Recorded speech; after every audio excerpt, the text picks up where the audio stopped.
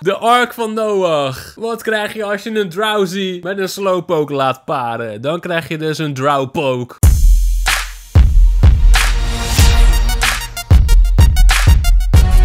Yo Nintendo fans, yo Rikachu Army. Het is weer tijd voor de leukste meme show op YouTube Nederland. Namelijk de Nintendo meme show Rika Meme. Wil je ook memepjes insturen? Kom in de Discord, zoek even naar de Nintendo meme kamer en plaats ze daarin. En weet komt jouw memepie ook wel in een van deze video's. En laten we maar gewoon gaan beginnen met de meest flauwe grappen van de Rikachu Army. Ik zie hier iets in Minecraft. Jullie weten dat ik noob ben in Minecraft hè? Dat heb je kunnen zien in de serie Noobcraft. Kijk, op mij komt dit over alsof ik hier gewoon lekker een bakje thee aan het zetten ben. Ik ben gewoon lekker water aan het verwarmen, toch? Of misschien is dit mijn persoonlijke jacuzzi. Een lekker bubbelbadje, lekker warm water. Dit is iets wat ik zou bouwen in Minecraft. Ik zou er nog trots op zijn ook. Ja, lekker in een bubbelbad, kopje thee erbij. Helemaal zelfvoorzienend. Helemaal top. Oké, de volgende. Rick, wanneer hij vier uur later begint met zijn Pokémon 12 uur stream. Zo, jij dit goed onthouden, gek. Was het echt vier uur? Volgens mij ben ik twee uur later begonnen. Het ding was dat het toen super moeilijk was om aan de Pokémon game te komen. Ik kon hem in ieder geval niet eerder krijgen, waardoor ik naar de nachtrelease moest. En eigenlijk zou ik om 10 uur al beginnen met de livestream op Twitch. Ja, dat, dat ging hem niet worden, want ik moest dus eerst nog een aantal video's opnemen. En dan ga ik dan niet om 6 uur opstaan of zo. Of misschien wel, misschien ben ik alsnog om 6 uur opgestaan. Anyway, goed onthouden man. Wil je ook mijn livestream zien? Twitch.tv slash Yo, deze meme vind ik toch wel aardig disrespectful. Dit kan je echt niet maken. Dit is echt respectloos. Hey, maar even serieus. Waarom beeld je mij af als een of andere roze dude in een ballerina pak dat lijkt op de Teletubby? Er zit een nieuwe roze Teletubby of zo. En waarom is Game Meneer zo'n epic guy? Dit, dit moet je naar Game Meneer sturen. Dit moet je niet naar mij sturen. Waarom stuur je dit naar mij? Ik voel me beledigd. Even kijken, wie was dit? Kermit. Ik denk dat het tijd is voor een ban in Discord voor iemand. Niemand. Facebook boomers om 12 uur s'avonds wanneer ze een quiz tegenkomen over wat voor hond zij zouden zijn. Ik behoef geen slaaf. Ik behoef antwoorden. Oh man, dit is zo irritant. Weet je wat ik ook irritant vind op Facebook? Van die lijstjes met deze mensen trakteren op McDonald's deze maand. En dan een hele lijst met namen. En niet zomaar namen. Nee, volgens mij hebben ze letterlijk daar gezeten om te kijken van... Wat zijn de meest voorkomende namen in Nederland? Zodat wij de meeste likes en shares kunnen krijgen op onze post. Ik irriteer me dood aan die lijstjes. En, en dit, dit herken ik ook wel. Maar dit vind ik soms wel grappig. Ik zou wel zeggen dat ik niet ga kijken welke hond of kat ik ben. Maar bijvoorbeeld welke Pokémon of welke Marvel character of zo. Dat vind ik best wel grappig. Maar om 12 uur s'nachts heb ik daar inderdaad ook geen tijd meer voor. My job here is done. But you didn't do anything. Ja, het is wel zo. Hij doet inderdaad niet zo heel veel. Ik heb wel sympathie voor hem, maar hij is ook wel erg vol van zichzelf, ja. Maar hij sloopt natuurlijk wel Dynamax Pokémon. Op een gegeven moment gaat heel de aarde trillen en dan sloopt hij een Dynamax Pokémon, een Persiker volgens mij. Ja, hij had inderdaad wel iets meer kunnen doen om te voorkomen dat de hele hel zou uitbreken. nice meme. De Ark van Noach. Wat krijg je als je een drowsy met een slowpoke laat paren? Dan krijg je dus een drowpoke. Ja, het is inderdaad wel zo van alsof de evolutie niet helemaal goed is gegaan of zo. Galarian slowpoke is trouwens wel cool. En de shiny versie is helemaal episch. Dag 33. They still suspect nothing. Zo, ik weet niet of je The Walking Dead hebt gezien. Maar in het vorige seizoen ging Elfa opeens rondlopen in het kamp van de goeie. Nou ja, de goeie. Je kan je afvragen of überhaupt een bepaald team goed is in The Walking Dead. Maar goed, daar doet me dit aan denken. Het is een freaking Empoleon die rondloopt tussen al die blokhoofd penguins. ja, ik vind hem wel weer mooi. Dit is een 5-star Gigantamax raid, correct? Yep. And they have two shields that break when you attack them enough. Yep. And they eliminate all stat changes in battle. Makes sense to me. So then use an attacking move. Cosmic power.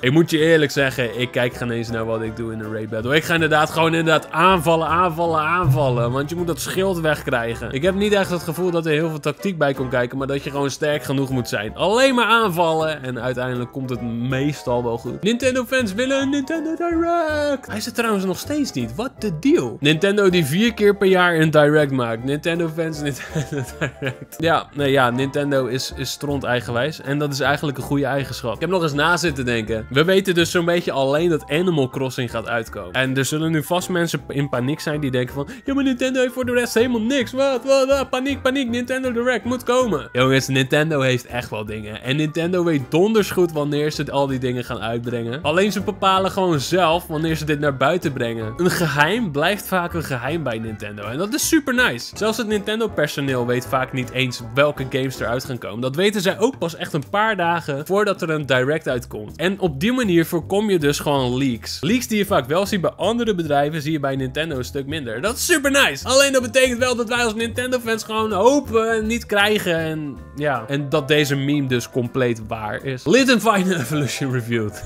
nou, ik moet zeggen dat ik Incineroar toch wel een stukje toffer vind hoor. Sword, Shield, Gun, Arrow, Nunchuk, Grenade, Chainsaw, Tactical Nuke. Oh man, het gaat steeds verder. Tactical Nuke, hoe moet ik dat voor me zien? Ik denk dat dat een vrij kort gamepje wordt dan. Ik ben wel blij dat er gewoon DLC komt voor Pokémon Sword en Shield. En dat we weer niet een soort van extra Shield 2 of een Pokémon Arrow inderdaad krijgen. Maar gewoon compleet nieuwe verhalen voor degene die Pokémon Shield of Sword al hebben gekocht. I like it. Veel beter dan een tweede game die weer bijna helemaal hetzelfde is. En dat je dan uiteindelijk tot een net iets andere conclusie komt. Ja, super goed gedaan Nintendo. Dus even kijken wat mijn favoriet hierin is. Ik vind Nunchuk wel episch. Yo, let's play some games. Alright, here's your controller. Heb je dat wel eens gedaan? Dan heb je zeg maar zo'n officiële Nintendo controller. En misschien heb je ook zo eentje van Hori, zo'n third party. En die speelt eigenlijk niet zo fijn. Maar die ga je natuurlijk niet zelf gebruiken, hè. Die geef je dan aan je mattie die komt gamen. En vervolgens win je alles, omdat die controller gewoon kak is. oh, nog een Little Mimpy. Standard Meowth? Oeh, die Meowth is nice. Shinx, Houndour, Purloin, Skit, Staquil. Hey, maar dit is best wel nice, man. Dit is geen eens een mimpie. Dit is gewoon best wel toffe fanart. Ik vind die van Meowth wel heel tof. Ziet er gelijk super onnozel uit, die litten. En die van Skitty is eigenlijk ook wel cool. Hey, dit is nice. Dit is, dit is super cool. Degene die dit gemaakt heeft, kudos voor jou, man. Lekker gedaan. de evolutie der controllers. En dan komt er op een gegeven moment een Pokéball controller. Oeh, trouwens, als je een Pokéball controller hebt en je Mew nooit geclaimd hebt in Pokémon Let's Go Pikachu en Eevee, kan je die Mew gewoon claimen in Pokémon Sword and Shield. Dus dat is eigenlijk wel wat je wil. Even een tip gewoon, hè. Waarom staat de Pro Controller trouwens op de tweede plek? Die moet echt op de vierde plek staan, hoor. Pro Controller is zo nice. Yoshi, Greninja, Yoshi. Licky Tong is gewoon de tong-eindbaas van heel het Pokéverse, jongen. I like it. Oh nee. I lick it. Oké, laat maar, laat maar, laat maar. Door naar de volgende. Mess with Rookie. You get Bazooki. Oeh, super vet. Kijk hem zitten dan. Ik vind Grookey sowieso een eindbaas. Mess with Grookey, you get Bazooki. Ja, dus blijkbaar toch Pokémon Gun confirmed, jongens. Lesbian. Nieuwe evolution voor Pokémon Sword and Shield. What's next? Hij is best wel cool eigenlijk. Er is eigenlijk niet zo heel veel mis mee. Een Rainbow Pokémon zou eigenlijk, nou, wat mij betreft best wel goed zijn. Lesbian, die naam. Ja, ja, ja, oké, cool. Wanneer komt er eigenlijk een Evolution weer? Het is best wel lang geleden voor mijn gevoel dat we een nieuwe Evolution hebben gehad. Het lijkt een beetje alsof de inspiratie gewoon op is bij Game Freak. Kom op jongens, een nieuwe Eevee, een Flying type, een Poison type. Het maakt me niet uit, maar het wordt tijd. Know your dragons. Ja, een appel is een draak. Ja, dit, dit blijft een ding. Dit blijft een fout die ze gemaakt hebben. Ze hadden natuurlijk Charizard altijd gewoon een draaktype moeten maken. Alleen wat je dan hebt, is dat eigenlijk die starter super overpowered is. Om dan inderdaad Applin wel een draak te maken, is wel, is wel vreemd. Dit soort memes zullen altijd blijven bestaan. Elke generatie weer komen deze memes weer langs. Appeldraakie, jongens. Ik vind appeldraakie wel leuk trouwens de evolutie hiervan. Hier hebben we allemaal mooie Crocodiles evolutions. We hebben Rocodile. We hebben Rukodile. We hebben Bukodile. Koekodile. Hoekodile. En Lukodile.